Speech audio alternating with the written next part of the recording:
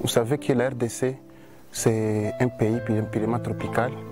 Et surtout que le Nord Kivu aussi, la plupart de la population sont victimes de la malaria, le paludisme. Et avec nos recherches que nous avions effectuées, nous avons trouvé que l'artémisia, c'est une plante qui peut soigner mieux et ça soigne bien sûr le paludisme et d'autres maladies infectieuses.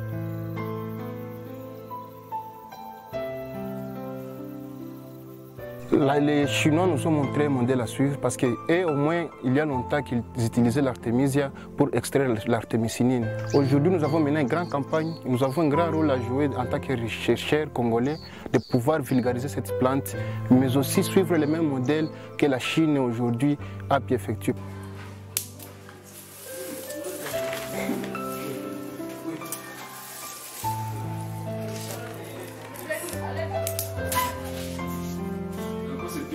帮广别人买小鱼。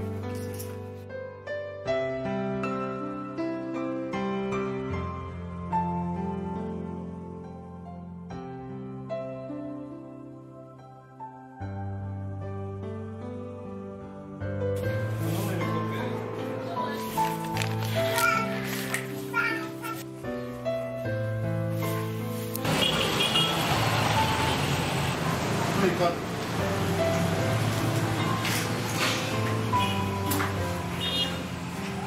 unayotumia ameniita waseme ukazi a kilio ataniita